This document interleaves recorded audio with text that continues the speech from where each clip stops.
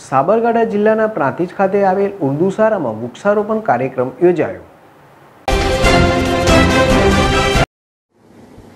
મોહદીસે Azam mission Prantij branch દ્વારા હુજુર ફાજિલે બગદાદ હજરત અલ્લામા મૌલાના સૈયદ હસન અસ્કરી, અશરફ અશરફી ઉલ જિલ્લાની મસ્જિદુલ અલીની અપીલ મુજબ ખલીફે હુજુર સૈખુલ ઇસ્લામ સૈયદ ઇકબાલ બાપુ અશરફી બુખારીની અધ્યક્ષતામાં પ્રાંતિજની ગુજરાતી શાળા નંબર પાંચ એટલે કે ઉર્દુ કુમાર શાળામાં વૃક્ષારોપણનો પ્રોગ્રામ રાખવામાં આવેલ, જેમાં પ્રાંતિજ ગામના આગેવાનો, મસ્જિદના ઇમામો, સ્કૂલના શિક્ષકો તેમજ પ્રાંતિજ મિશનની ટીમે હાજર રહી સમગ્ર પ્રોગ્રામને સફળ બનાવેલ.